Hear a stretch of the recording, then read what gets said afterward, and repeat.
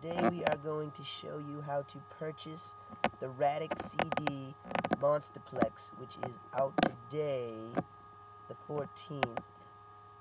And first you must go to undergroundhiphop.com, which is also known as ughh.com. And then you want to scroll down to the search menu and type in Radix, which is R A D I X. And you click that. See there's the CD Monstaplex. That is the CD you're purchasing. And then you want to click that and you can see all the specs on that. You can see the artwork right there. You can see all the tracks, the track listings. Here we go.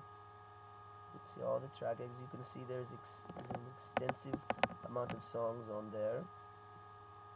So you can scroll down and hit the purchase button. You want to hit purchase, add to cart. I'm sorry, add to carts. You want to hit that. So you hit the add to carts and you should be all set. Continue to purchase and that is it. And now you have a Monstaplex CD from Radix.